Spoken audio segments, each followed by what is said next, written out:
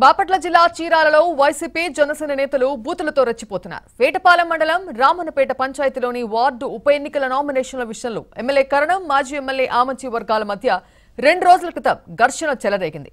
ఇరు వర్గాలకు మద్దతుగా కరణం వెంకటేష్ ఆమంచి కృష్ణమోహన్ రోడ్డెక్కారు. ఒకరినొకరు చెప్పలేని రీతిలో బూతులు తిట్టుకున్నారు. తాజాగా ఆమంచి సోదరుడు జనసేన నాయకుడు ఆమంచి స్వాములు కరణం వెంకటేష్ని బూతులతో దూషిస్తూ రెచ్చిపోయారు.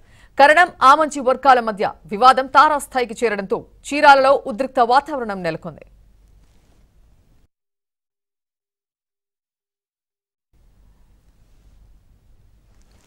బాపట్ల జిల్లా చీరాలలో ఎమ్మెల్యే కరణం మాజీ ఎమ్మెల్యే ఆమంచి మధ్య వార్ చల్లారకముంది.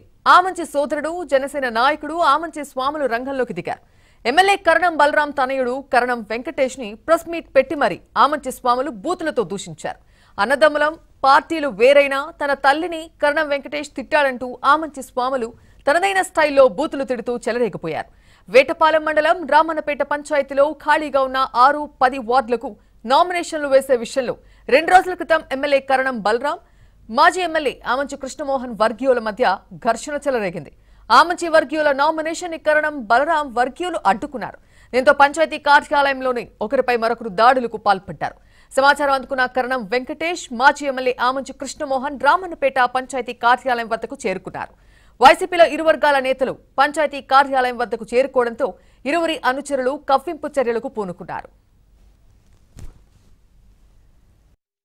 ఏంది చేశారు ఏంది మీరు చేయలేరు లాకెళ్ళారు మిమ్మల్ని ఉన్నాం కదా నువ్వేం చేశావు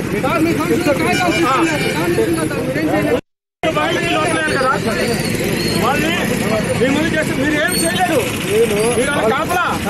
కాపలా? ఆడింగిలోనే కాపలా మీరు? ఆడింగిలోన కాపలా మీరు? యాభై మంది ఇరిపిస్తున్నా నేను వదలదా పట్టుకున్నా. నా ఎవరైతే వాళ్ళు పట్టుకుని మీరు లేకపోతే రారు రాళ్ళు లేరు. ఉన్నప్పుడు వైఎస్ఆర్ పార్టీని ఇక్కడ డ్యామేజ్ చేద్దామని వెనకాల వాళ్ళ అన్ననేమో జనసేన. ఈ దొంగ కొడుకేమో ఇక్కడికి వచ్చి టీడీపీ కోవట్టు ఇటు టీడీపీ వేసాలు జనసేన కలిపి ఇప్పుడు ఇది చేస్తా ఉన్నారు.